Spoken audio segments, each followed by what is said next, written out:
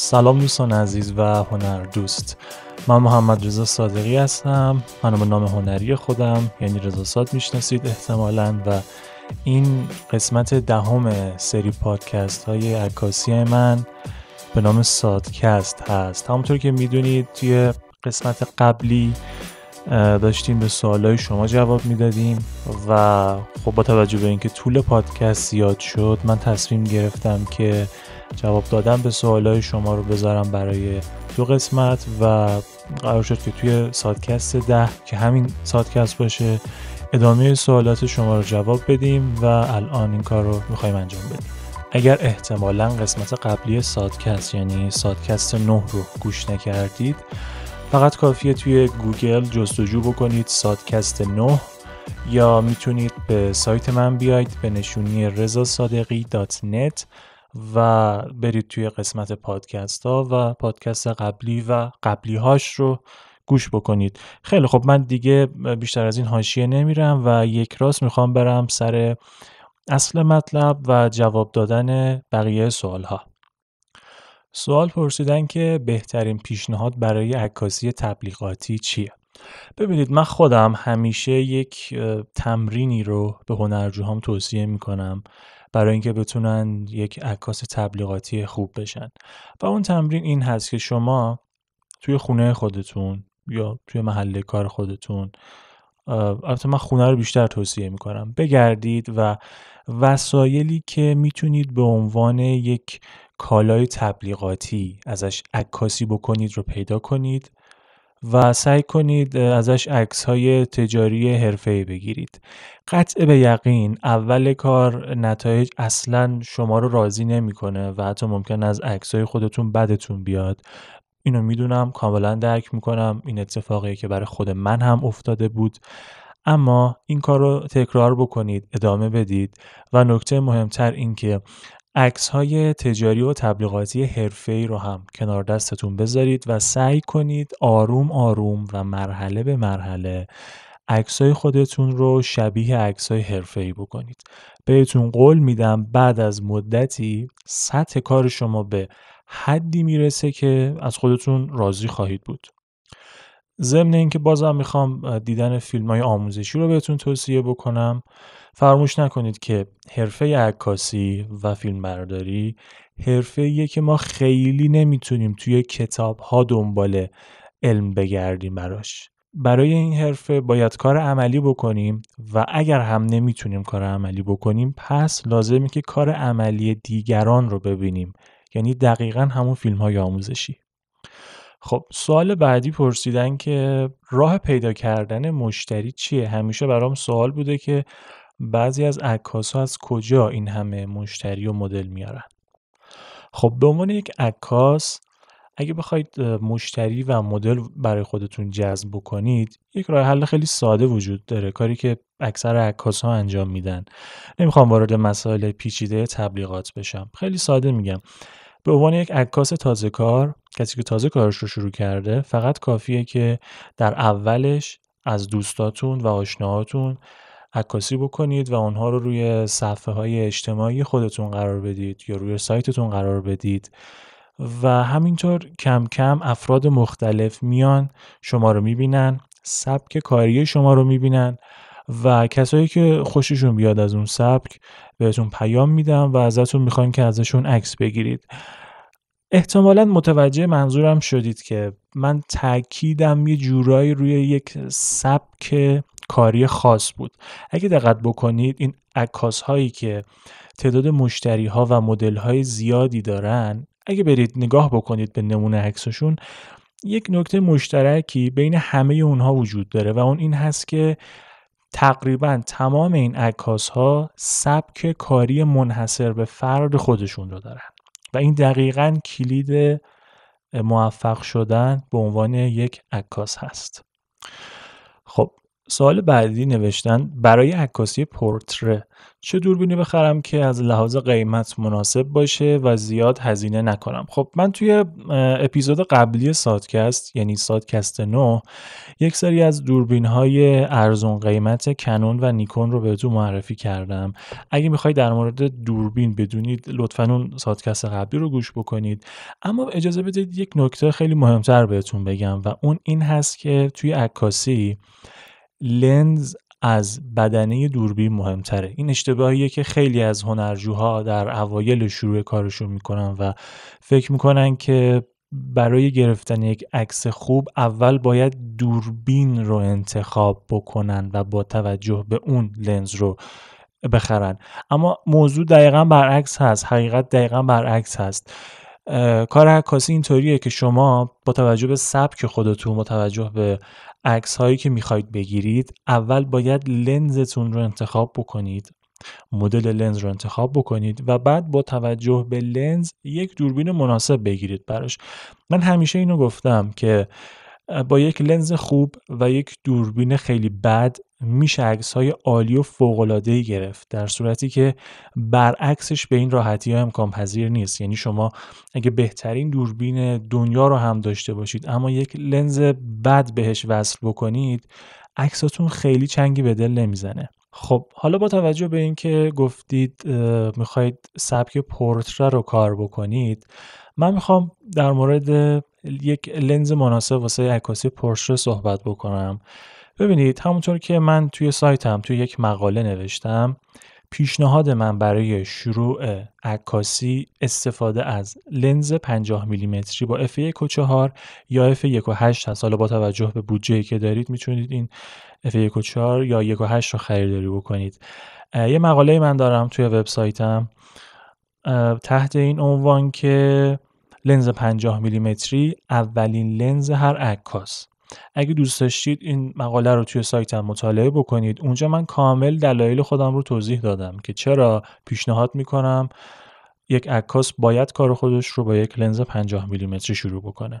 در مورد سبک کاری شما که پورتره هست من این توصیه رو تاکید بیشتری می‌کنم که حتما حتما با یک لنز 50 میلیمتری شروع بکنید و بعد همینطور که پیشرفت کردید می‌تونید لنزهای دیگر رو خریداری بکنید و بعدا بدنه دوربینتون رو هم آپگرید بکنید.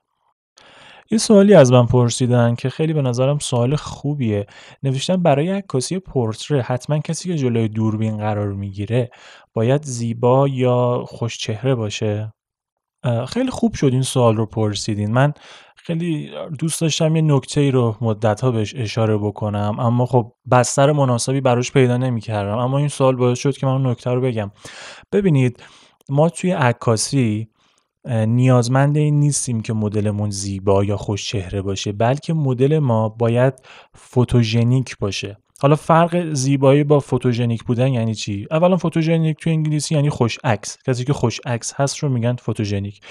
حالا چه اتفاقی میفته که یک نفر مثلا در دنیای واقعی وقتی ما نگاهش می‌کنیم زیبا هست ولی خوش عکس نیست. احتمالا بعضی ها این تجربه رو دارن که وقتی خودشون رو تو آینه می‌بینن میگن خب من چهره خیلی خوبی دارم چقدر زیبا هستم. ولی به محض اینکه از خودشون عکس می‌گیرن حالشون به هم می‌خوره. میگن چرا انقدر بد شدم من توی این عکس. دلیلش در واقع همین بحث فوتوژنیک بودنه. حالا چرا اینطوریه؟ چرا بعضی ها در دنیای واقعی زیبا هستند ولی فوتوژنیک نیستن یا حتی برعکس؟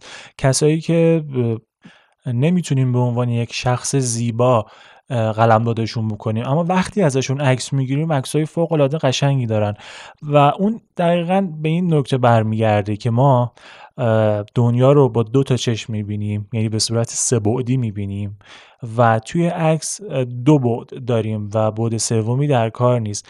و تفاوت دو بعدی بودن و سه بعدی بودن چهره ها هست که بعضی ها رو فوتوژنیک می‌کنه و بعضی ها فوتوژنیک نیستن. یعنی یک شخص زیبا رو وقتی ما می‌بینیم به صورت سه بعدی حالت سه بعدیش قشنگ هست و زیباست. اما به محض اینکه این شخص رو به صورت دو بعدی توی یک تصویر نگاه می‌کنیم اون زیبایی رو نداره. به خاطر همین بحث تفاوت این هست که اشخاص توی دو بعد چجور به نظر می‌رسن و یا توی سه بعد چجور به نظر می‌رسن. و این دقیقا دلیل اینه که چرا بعضی ها خوش عکسن و بعضی ها خوش عکس نیستن. بنابراین در جواب سوالتون باید بگم که نه. لزوما ما مدل زیبا نیاز نداریم بلکه مدل فوتوژنیک و خوش عکس نیاز داریم.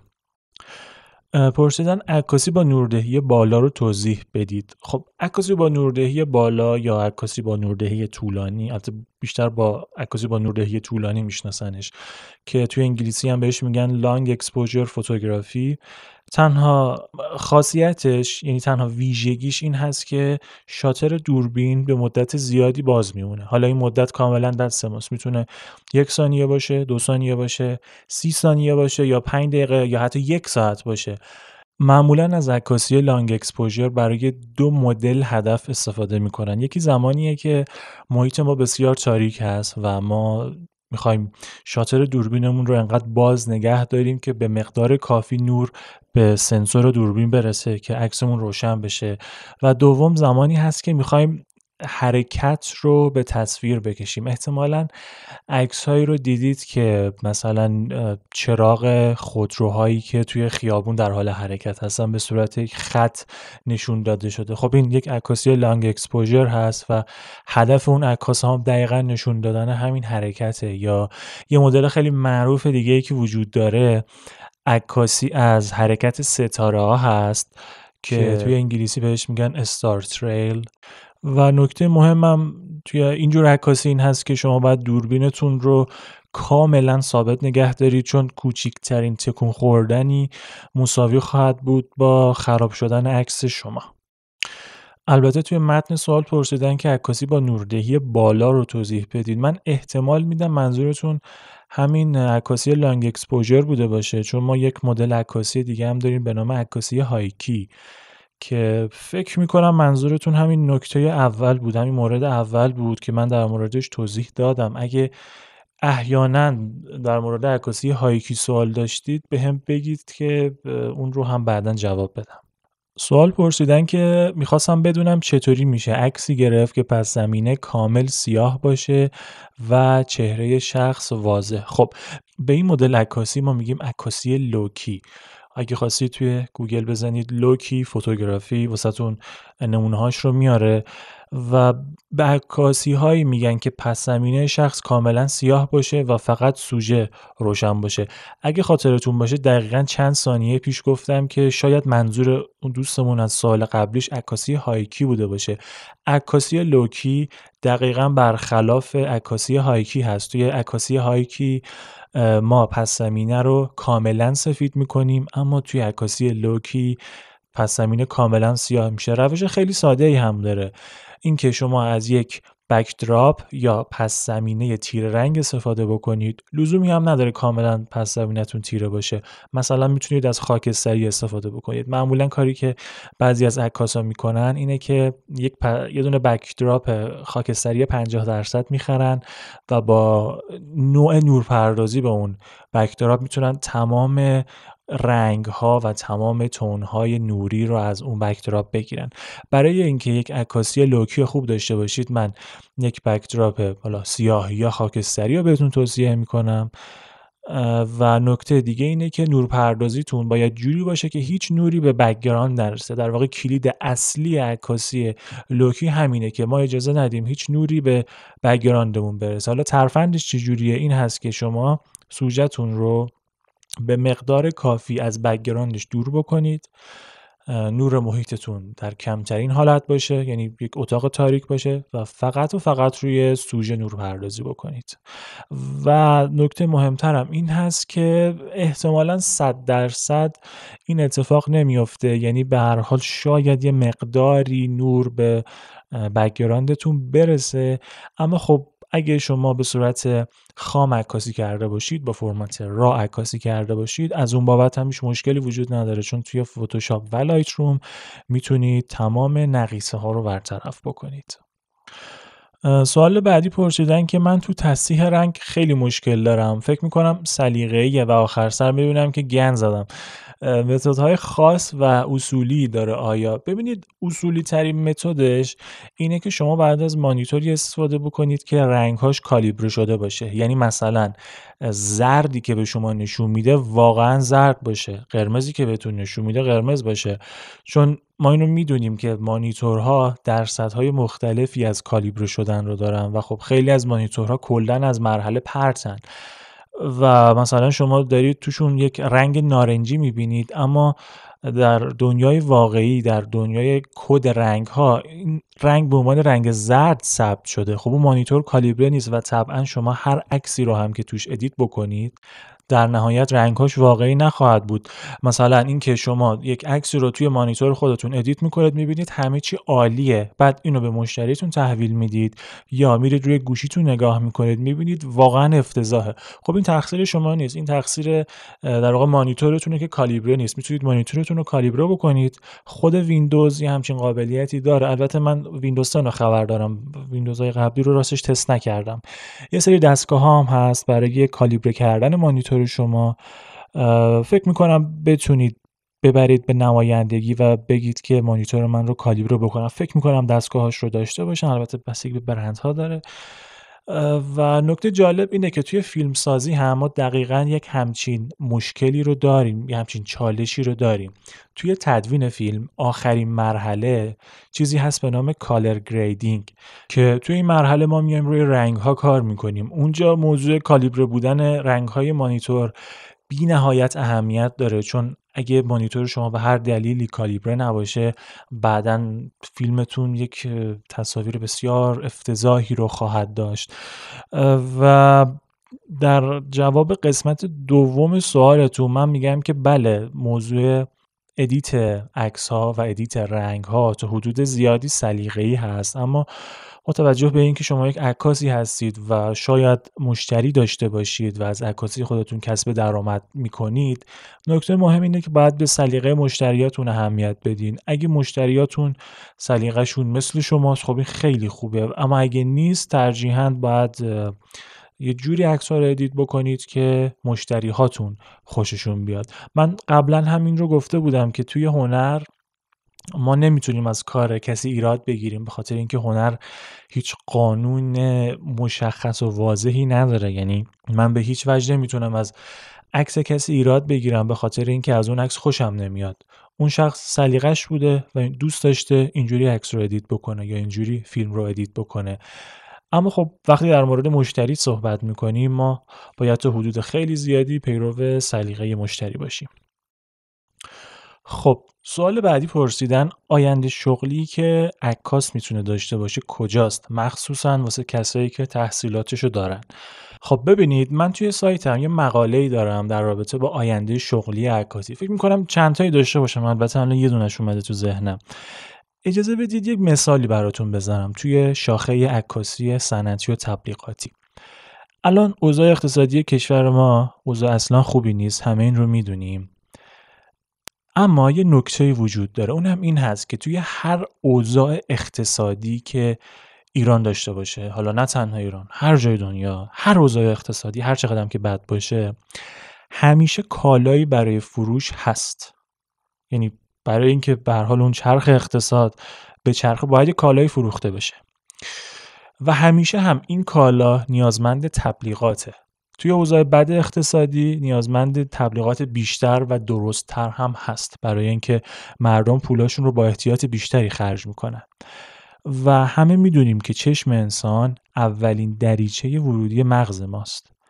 و خب تصور بکنید یک عکس تبلیغاتی حرفه‌ای چقدر می‌تونه نظر مشتری ها و مخاطبای شما رو جلب بکنه. و اینجاست که کار یک عکاس تبلیغاتی نمود پیدا می‌کنه. شما اگه یک عکاس تبلیغاتی باشید براتون خیلی فرق نمی‌کنه که اوضاع اقتصادی کشور چقدر بد باشه. همیشه هستن صاحبان کسب و کاری که این نکته رو بدونن و کاراشون رو و پروژه هاشون رو به شما محول بکنن.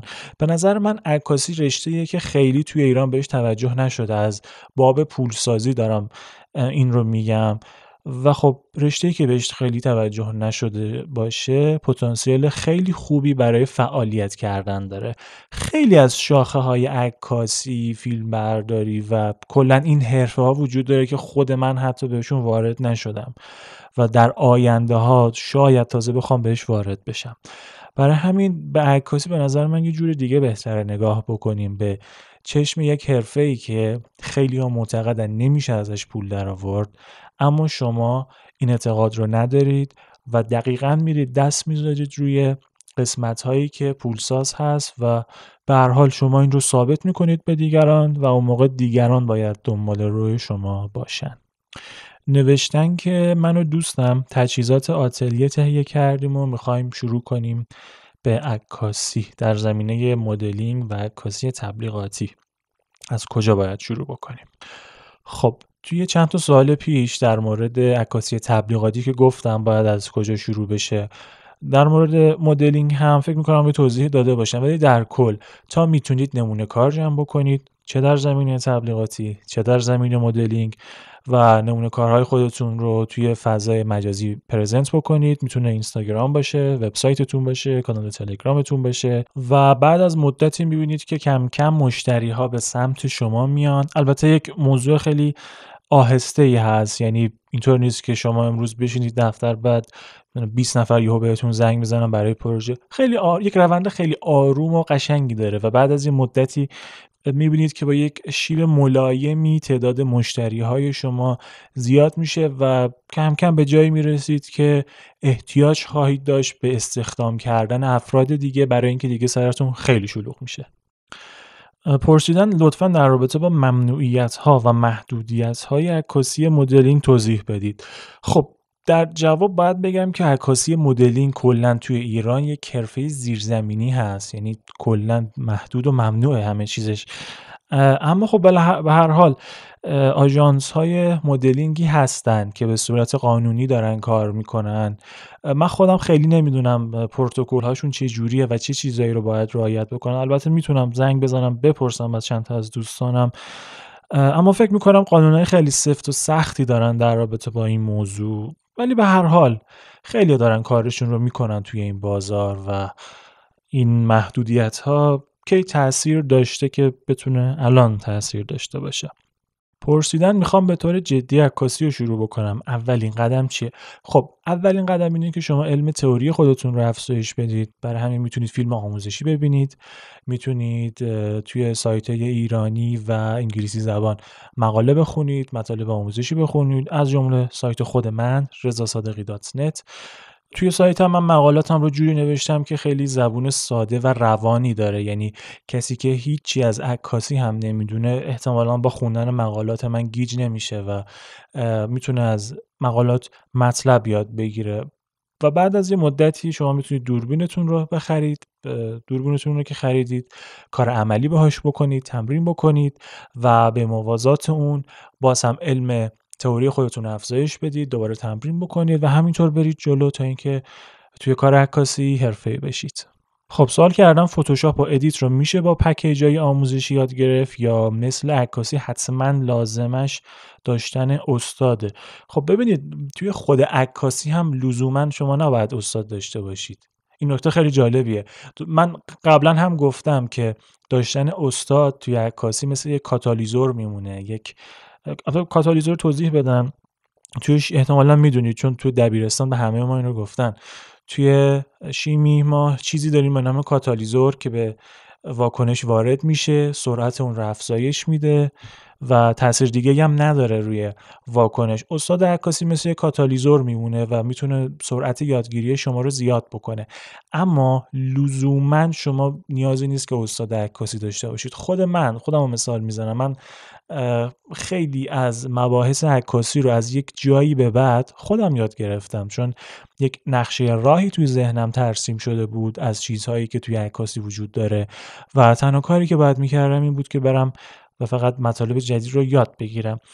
اما در جواب سوالتون نه خیلی نیاز نیست برای فتوشاپ و ادیت داشتن استاد. با پکیج های آموزشی با فیلم های رایگان هم حتی می‌تونید فتوشاپ و ادیت رو یاد بگیرید و تنها نکتهش اینه که باید تمرین بکنید.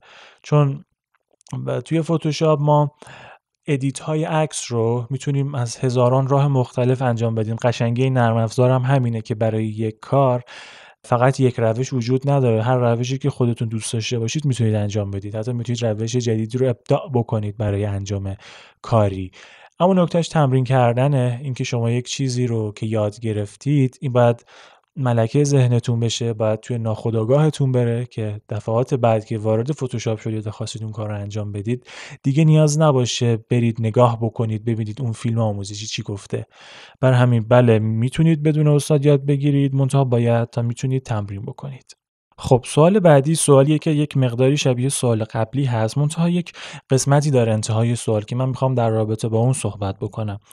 توی این سوال همون در مورد کلاس فتوشاپ پرسیدن. منتها ادامه سوال پرسیدن که مهمه که به ما مدرک معتبر بدن یا نه. خب ببینید توی عکاسی و توی فتوشاپ نظر شخصی رو میگم. شاید دلیلم کاملا علمی نباشه. داشتن مدرک شاید بی ارزش ترین چیزی باشه که یک نفر می‌تونه داشته باشه. خود من مدرک خیلی زیاد دارم اما این رو می‌تونم با اطمینان بگم که تا حالا تا این لحظه هیچ کدوم از مدرک های عکاسی من به دردم نخورده و الان همشون داره توی یه پوشه خاک می‌خوره و احتمالا فضای من رو فقط اشغال کردن این چند تا برگ کاغذ. توی عکاسی توی این جور حرفه ها کلا به جای اینکه بدون به مدرک شما نگاه بکنن به این نگاه می‌کنن که نمونه کاراتون چی هست؟ به این نگاه می‌کنن که چقدر کار بلد هستید؟ و نظر من اینه به جای اینکه دنبال مدرک باشید و براتون این مهم باشه که حالا مثلا کجا مدرک میدن دنبال این باشید که نمونه کارهای خودتون رو چجوری می‌تونید افزایش بدید. حتی اگه شده جاهایی با قیمت کمتر کار بکنید شاید جاهایی لازم باشه به صورت رایگان کار بکنید که اون نمونه کار رو جمع بکنید. نمونه کار صد درصد اهمیتش بیشتر از مدرک هست.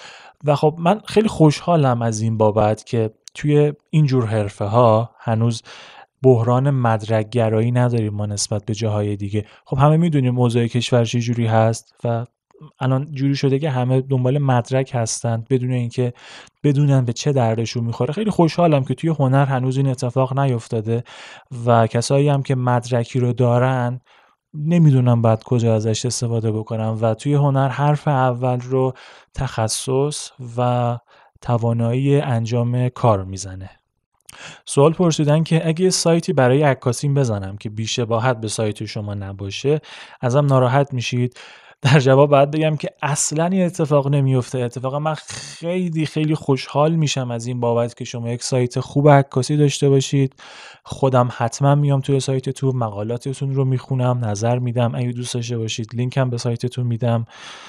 و من منتظر ساخته شدن سایتتون میمونم. لطفا اگر سایتتون رو درست کردید به هم یه پیام بدید تا بیام سایتتون رو نگاه بکنم.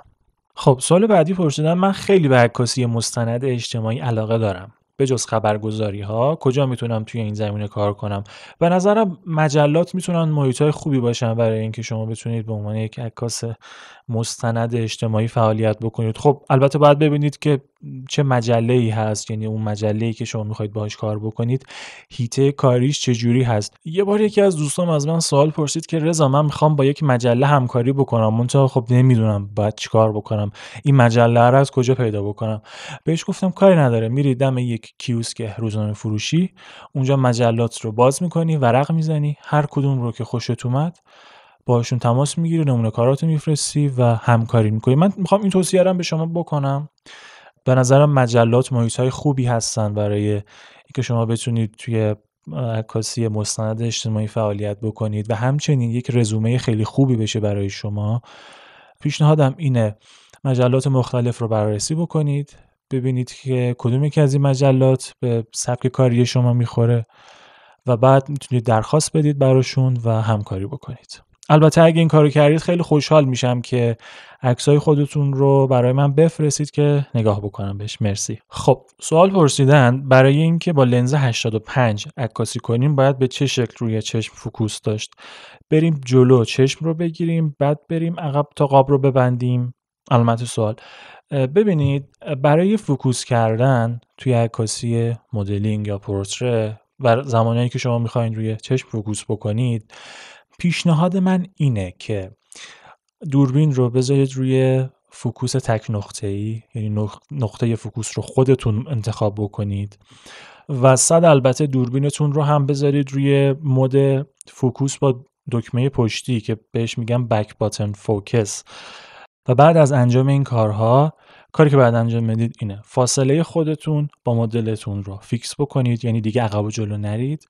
حالا روی چشم سوژه فوکوس بکنید. وقتی فوکوس انجام شد در حالتی که دکمه فوکوس پشتی رو نگه داشتید قابتون رو ببندید و عکس رو بگیرید. البته یه نکته مهمی وجود داره.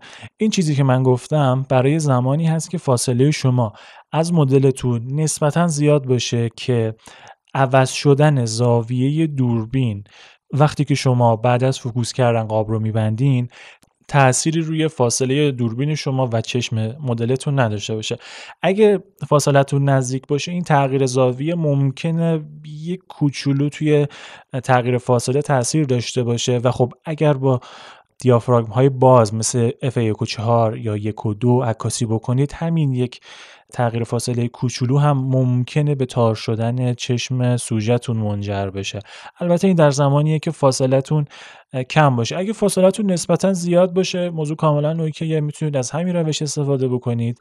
اما اگه فاصله کمی دارید با مدلتون همون فوکوس تک نقطه ای رو انجام بدید. منتها این بار با کلیدهای چهار جهته که پشت دوربینتون هست نزدیکترین نقطه فوکوس به چشم مدل رو انتخاب بکنید فوکوس بکنید و بعد قاب رو ببندید. پرسیدن من الان سال دومی هست که توی هنرستان عکاسی می‌خونم و می‌خواستم بدونم چجوری می‌تونم وارد بازار کار بشم. خب خیلی خوبه که الان دارید عکاسی می‌خونید. به نظر من از همین الان شروع بکنید به جمع کردن نمونه کار و رزومه برای خودتون و این طوری باشه که بعد از اینکه درستون تموم شد یک مثلا توی عکاسی بهش میگن پورتفولیو. یک پورتفولیو یا نمونه کارهای خیلی خوبی داشته باشید که بعد از اینکه درستون تموم شد از هم های خودتون چند قدم جلوتر هستید و این خیلی خوبه. سوال پرسیدن سلام من می‌خوام داخل خونه عکاسی کنم. چه چیزهایی ضروری ترین هست که باید تهیه کنم؟ یا خودم بسازم. خب اینکه داخل خونه عکاسی می‌کنید خیلی از عکاسای حرفه‌ای این کار رو انجام میدن. مثلا تونی نورسروپ اگه برید نگاه بکنید می‌بینید که توی خونه خودش یکی از اتاقاش رو تبدیل به استودیو کرده و اونجا داره عکاسی می‌کنه. یا اگه فیلم های آموزشیش رو ببینید اون استودیویی که وجود داره و توش دارن صحبت می‌کنن اون در واقع یکی از اتاقهای خونهشون هست. خیلی از عکاس این کار رو می‌کنن و به نظرم خیلی کار خوبی هم هست. و اینکه پرسیدید چه چیزهای ضروری ترین هست من همیشه گفتم که توی عکاسی 90 درصد ماجرا نورپردازیش هست. شما به چند تا منبع نوری خوب احتیاج دارید. اینکه میگم خوب لزوما منظورم منبع نوری گرون قیمت نیست. حتی می‌تونه دستساز خودتون هم باشه. من خودم در اوایل کارم منابع نوری دستساز خیلی زیادی رو ساختم. خیلی جالبه بدونید همین الان خیلی از اونها رو دارم و گاهی هم استفاده می‌کنم ازشون. بنابراین شما حالا با توجه به اینکه کاش می‌گفتید که چه سبکی رو می‌خواید دنبال بکنید. مثلا پورتره هست مدلینگ هست یا عکاسی صنعتی می‌خواید بکنید به نظرم بیشتر توانتون رو بذارید روی درست کردن یا تهیه منابع نوری مختلف و بعد از اون یک قسمتی از منزلتون رو به عکاسی اختصاص بدید به صورت دائم یا به صورت موقت حالا با توجه به سبک عکاسیتون. اگه بازم سوالی داشتین لطفا توی اینستاگرام یا تلگرام یا حتی ایمیل به من پیام بدید. حالا اگه می‌خواید ایمیل من رو بدونید info at هست. خب سوال پرسیدن عکاس مبتدی هستم و هرچی یاد گرفتم خودآموز بوده. به نظر شما برای حرفه شدن همین راه رو ادامه بدم یا نه؟ خب راه خیلی خوبیه بله ادامه بدید تمرین بکنید و نکته مهم اینه که سعی کنید علم خودتون رو به روز نگه دارید. البته یک نکته رو هم بهتون بگم. خودآموز بودن یه مزیت داره و یک عیب. مزیتش اینه که توی هزینه های مادی شما صرف جویی میشه و عیبش اینه که توی هزینه های زمانی شما صرف جویی نمیشه. یعنی اگر شما استاد داشته باشید زودتر عکاسی یاد می‌گیرید اما خب باید یک هزینه ای رو بپردازید. اگر خودآموز باشید رایگان یاد می‌گیرید اما زمان بیشتری رو صرف می‌کنید. ببینید با کدوم که از اینها راحت تر هستید. اما از نظر من هیچ اشکالی نداره. خیلی رو می‌شناسم که به صورت خودآموز عکاس حرفه‌ای شدم و دارن توی این بازار به صورت خیلی قوی ظاهر میشن. سوال پرسیدن که سلام اگه دوربین فول فریم نباشه میشه از لنز 70 200 استفاده کرد؟ یا باید حتما با توجه به لنز دوربین فول فریم باشه؟ خب ببینید این نکته جوابتون اول خیلی سریع بدم. بله میشه و این کار خیلی هم متداول هست. یعنی خیلی از عکاس ها وقتی می‌خوان کار عکاسی خودشون رو شروع بکنن میان یک لنز فول فریم رو با یک بدنه کراپ می‌خرن که عموما این بدنه crop APS-C هست. این APS-C یک سایز خاصی هست که البته من الان عدد سایزش تو ذهنم نیست طول و عرض سنسورش الان یادم نیست توی ذهنم. اما می‌تونید گوگل بکنید بزنید APS-C توی گوگل و سایز سنسور رو بهتون میده. عموم دوربین هایی که crop هستن و مال کنون و نیکون هستن عموم DSLR ها یا فول فریمن یا APS-C هستن. بله این کار خیلی متداوله و اتفاقا من توضیح هم می‌کنم که این کار رو انجام بدید به خاطر اینکه بعدن که دوربین خودتون رو آپگرید کردین و یک دوربین فول فریم خریدین لنز قبلیتون به کارتون بیاد. در صورتی که اگه از همین الان همراه دوربین APS-C خودتون یک لنز APS-C هم خریده باشین بعدن که دوربین عوض شد و فول فریم شد دیگه لنز قبلیتون به کارتون نمیاد.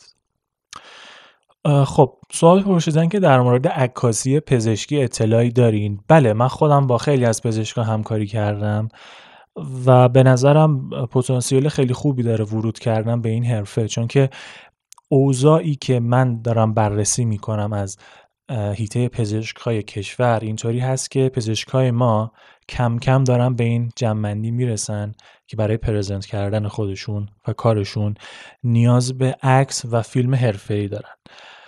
و من توی پادکست قبلی یعنی سادکست نو هم اتفاقا یک مثالی زدم در مورد یکی از منابع درآمدی خودم از عکاسی.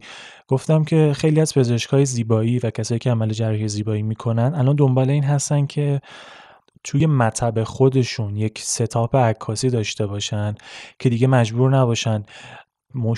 مشتری که نمیشه گفت مراجعین خودشون رو بفرستن به آتلی های عکاسی تا اونجا عکس بگیرن به نظر من بله عکاسی پزشکی توی ایران آینده خیلی خوبی داره. پس لازمه که از همین الان شروع بکنید. یاد گرفتن اینکه چه چیزهایی نیاز هست برای اینکه با یک پزشک بخواید کار بکنید. و اگه دوست داشتید منم می‌تونم راهنماییتون بکنم تو این زمینه. خب سوال پرسیدن که علت قیمت زیاد کنون One DX Mark 2 چیه؟ خب همونطور که می‌دونید One DX Mark 2 گرونترین دوربینی هست که کنون درست کرده. این دوربین مال سال 2016 هست فکر می‌کنم. و خیلی جالبه اگه بدونید علی‌رغم قیمت بسیار زیاد این دوربین که 6000 دلار هست این دوربین فقط 20 مگاپیکسله. در صورتی که الان دوربین های سطح ابتدایی بازار حداقل 24 مگاپیکسل رو دارن. اما شاید جالب باشه براتون که بدونید توی عکاسی حرفه‌ای اینکه دوربین ما چند مگاپیکسل باشه یا اصطلاحا رزولوشنش چقدر باشه در درجه اول دارای اهمیت نیست. چیزهای مهمتری وجود داره نسبت به اینکه دوربین ما چند مگاپیکسل باشه؟ مثلا One DX Mark 2 یک range ISO خیلی خوب و عالی داره. یعنی چی؟ یعنی اینکه شما توی محیط های تاریک می‌تونید ISO تون رو توی واندیکس مارک 2 خیلی افزایش بدین بدون اینکه نگران این باشین. عکس شما دارای نویز بشه. خب این یک مزیت فوق العاده زیاده در صورتی که با دوربین های ابتدایی تر شما فقط کافیه یک مقدار خیلی کم یعنی مثلا 100 رو بکنید هزار بکنید 500 ISO ی 100 رو بکنید هزار یا 500 عکس شما دارای نویز میشه اما توی 1DX Mark Two اوضاع کاملا فرق می‌کنه و شما عدد ISO رو خیلی می‌تونید بیشتر افزایش بدید بدون اینکه نگران باشید. عکستون نویزی یا grainy بشه. خب این یکی از مزیتشه. مزیت بعدیش توی سرعت عکاسی این دوربین هست. توی DSLR ها کنون 1DX Mark II سریع ترین دوربین از منظر عکاسی پشت سر هم یا continuous shooting هست. کنون 1DX Mark Two می‌تونه 14 فریم در ثانیه عکاسی پشت سر هم داشته باشه که خب یک عدد خیلی بالاست توی DSLR ها. البته نسبت به میرورلس ها خیلی کمه یعنی دوربینای بدون آینه حتی تا سی فریم در ثانیه هم می‌تونن عکاسی پشت سر هم داشته باشن. اما توی DSLR ها وقتی داریم صحبت می‌کنیم این دوربین بیشترین عدد رو داره. علاوه بر اینها این دوربین سایز بافر خیلی زیادی داره. تعداد عکساش یادم نیست ولی می‌دونم سایز بالایی داره. علاوه بر اینها این دوربین گریپ سرخود داره و یعنی اینکه شما می‌تونید هم سایز باتری بزرگتری استفاده بکنید عمر باتریتون بسیار بالاتر هست و اینکه دوربین رو تو حالت افقی یا عمودی به راحتی بگیرید توی دستتون. اگه دقت کرده باشین علت اندازه و سایز بالای این دوربین هم به خاطر همین وجود grip سرخودیه که داره. سیستم فوکوس و tracking خیلی عالی داره این دوربین. این دوربین ویژگی هایی داره که باعث شده بیشتر کسایی برن سمت دوربین که عکاسی حرف، کار حرفه ای اونها هست. مثلا عکاس های ورزشی خیلی از این دوربین استفاده می‌کنن عکاس های حیات وحش از این دوربین استفاده می‌کنن خبرنگارها از این دوربین استفاده می‌کنن. و کسانی که این دوربین رو دارن می‌دونن که کاملا ارزش پولی که بابتش دادن رو داره. اما نکته که وجود داره اینه که اخیرا بازار میرورلس ها یا دوربین های بدون آینه انقدر داغ شده که اگر کسی از من بپرسه که هنوز هم که الان توی سال 2019 هستیم توجیه داره که کنون واندیکس مارک 2 رو ما بخریم احتمالا من یکم با شک و تردید بهش جواب بدم و سریع جواب مثبت رو ندم. اگه احیانا این دوربین رو دوست دارید بخرید یه نیم نگاهی به بازار mirrorless ها داشته باشید. مخصوصا mirrorless های سونی که تو این چند سال واقعا ترکوندن واقعا دوربین های عالی دادن و احتمالا شاید شاید دوربین بعدی که من بخرم یکی از میرورلس های سونی باشه. خب یه سوالی پرسیدن. البته من می‌خوام این سوال یک مقداری با احتیاط جواب بدم. حالا میگم چرا. پرسیدن که در مورد فاصله کانونی اگه میشه توضیح بدید که مثلا لنز 50 میلیمتر چیه 85 میلیمتر چیه و تفاوت اینها با هم چی هست. خب حالا من چرا می‌خوام این سوال با احتیاط جواب بدم؟ به خاطر اینکه موضوع فاصله کانونی یه مقداری برمیگرده به فرمول های ریاضی و فیزیک و من نمی‌خوام این دوستمون رو گیج بکنم و کسایی که شاید براشون این سوال به وجود اومده باشه که فاصله کانونی اصلا چی هست؟ اینکه ما میگیم لنز مثلا 70 200 این یعنی چی؟ اجازه بدید یه توضیح خیلی ساده ای بدم. اگه یادتون باشه توی دبیرستان ما فصل هایی داشتیم که در مورد فیزیک اپتیک بود همین نور و لنز و این چیزا.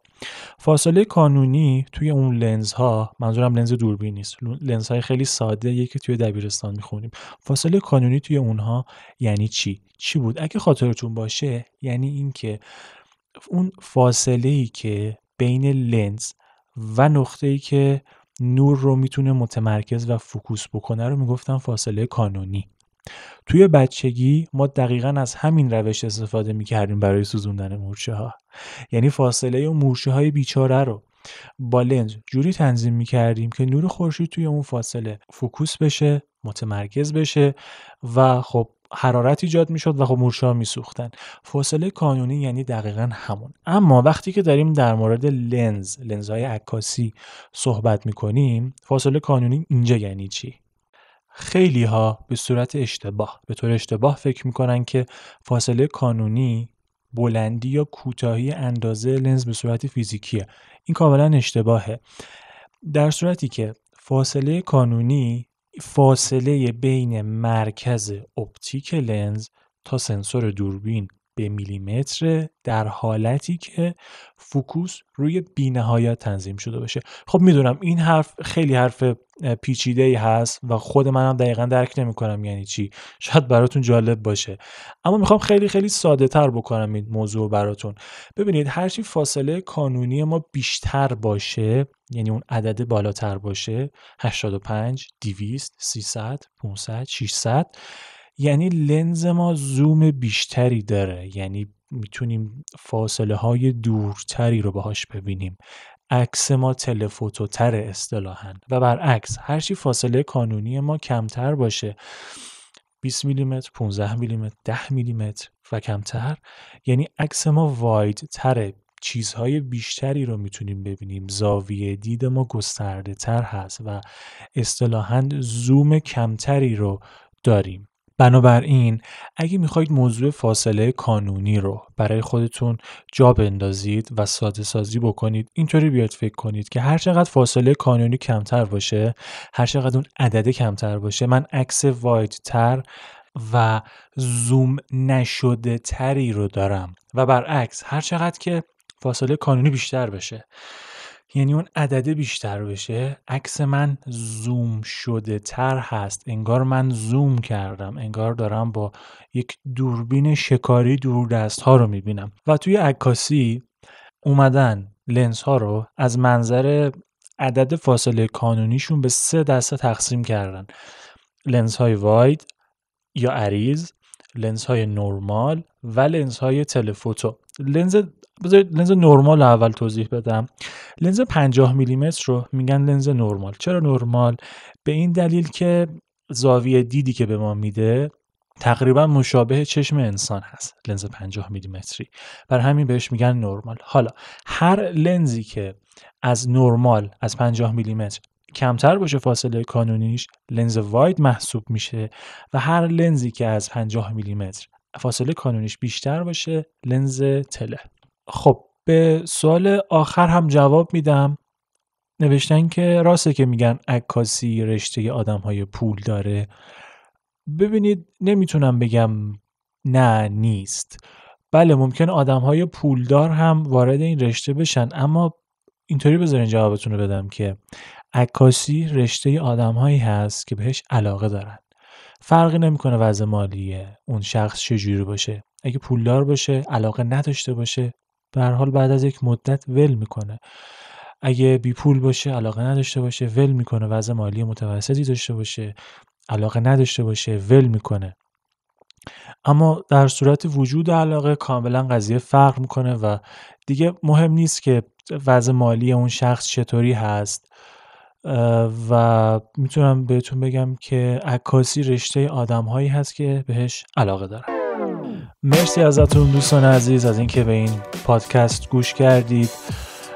همونطور که می‌دونید سادکست رایگان هست و همیشه هم رایگان خواهد موند. منتها اگر محتوای اون رو مفید دیدید لطف می‌کنید اگر اون رو با یکی از دوستاتون حداقل یکی از دوستاتون به اشتراک بگذارید. اگر دوست داشتید مقالات سایت من رو بخونید می‌تونید به وبسایت من به نشونی رضا صادقی دات بیاید. آدرس صفحه اینستاگرام و تلگرام من at رزاساد هست. اگر دوست داشتید از من سوالی بپرسید می‌تونید به من ایمیل بزنید. آدرس ایمیل من info at هست. اگر دوست دارین جزو اولین نفرایی باشید که از مقالات جدید سایت من با خبر میشه می‌تونید توی سرویس notification سایت من ثبت نام بکنید. برای این کار فقط کافیه که وارد سایت من بشید و از قسمت پایین سمت راست سایت روی عکس اون زنگوله کلیک بکنید و سایت من بقیه مراحل رو بهتون راهنمایی می‌کنه. و در نهایت می‌خوام برای دوستانی که به عکاسی پورتره علاقه دارن کتاب رایگان خودم رو معرفی بکنم. کتاب پورتره از صفر. برای کسانی نوشته شده که دوست دارن کسب و کار مبتنی بر عکاسی پورتری خودشون رو داشته باشن اما دقیقا نمی‌دونن باید از کجا شروع بکنن. برای دانلود پورتری از صفر می‌تونید به وبسایت من مراجعه کنید یا می‌تونید توی گوگل کلمه کتاب پورتری از صفر رو جستجو بکنید. مرسی از توجهتون. و به زودی زود توی سادکست 11 باتون صحبت می‌کنم. خداحافظ.